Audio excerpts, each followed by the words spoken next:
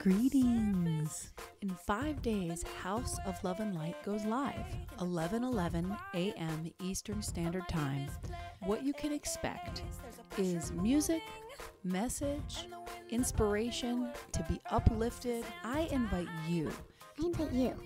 I invite you to a very cool online spiritual experience curated by yours truly.